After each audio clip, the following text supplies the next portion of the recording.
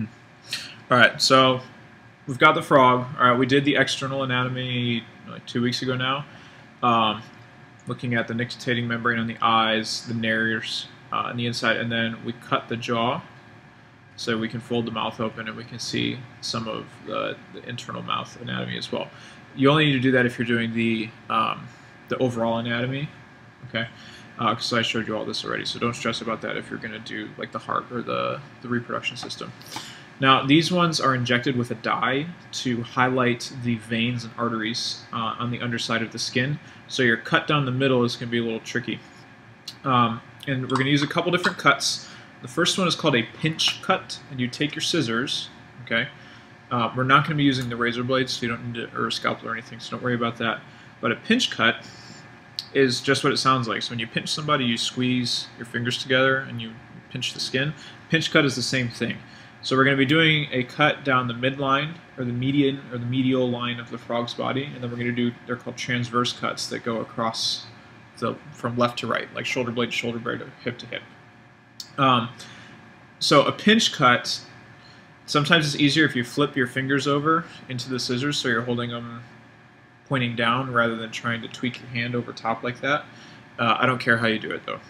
So easy way to do it is you just take it and you grab a little piece of the skin. Don't cut through the muscle yet. We're going to do that in the next step.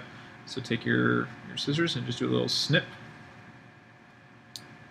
And then you know you got through if you can take your scissors and you can lift on the underside like that. So, and then to cut through to make sure we don't cut any organs or anything underneath, we do a lift and snip. So your scissors should pop out.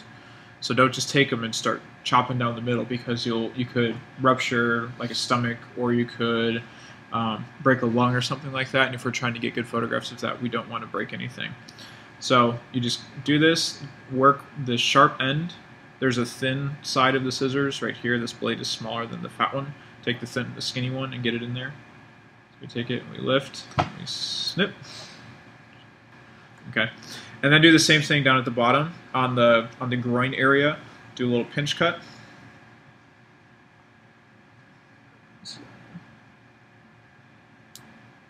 Okay. And then you can work your scissors in and continuing to lift and snip. And you want to cut all the way around to the side of the frog, on the top and on the bottom. So my cuts up here, I got my pinch right there. So I'll take it and same thing, lift and snip. And you cut all the way to the jawline. Okay.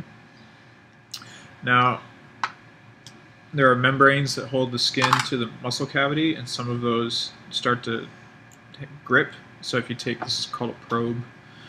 If you take this and you just run it along the inside there, the membranes are very, very fragile.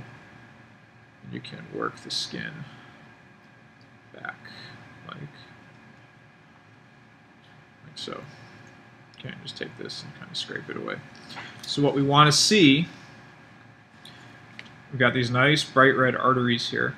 Their arteries and their veins run right on the surface of their skin. So when they're hibernating uh, during the winter, they don't breathe because oxygen can diffuse through their skin right into their bloodstream, which is pretty cool. So their circulatory system is very different than ours. Um, so you do this on both sides. And if you break a couple arteries, it's fine. If you're uncomfortable with that, just take your scissors and you can cut the membrane. Now the body cavity is this. This is all muscle here. Okay. Um, same thing. So go to where your pinch cut was when you started. Uh, on the skin, so we'll take this, and you need to go deeper with this one to get all the way in. So same thing, after you get your pinch cut done, take your scissors, insert it into the cavity, lift with the scissors, and cut through the muscle. Okay, and it's it's important to lift at this point because underneath, right, you've got all your intestines in here, you've got your stomach, um, the liver is this guy right here actually.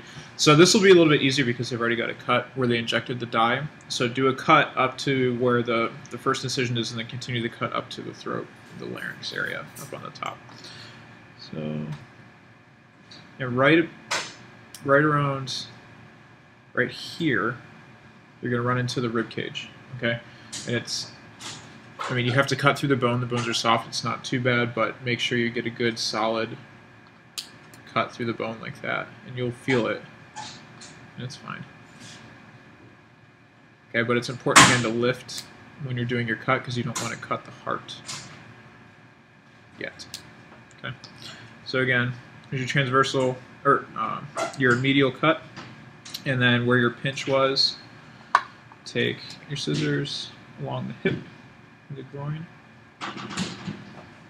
lifting as you go underneath the muscle. Okay, so when you're done cutting everything away, you should have a large opening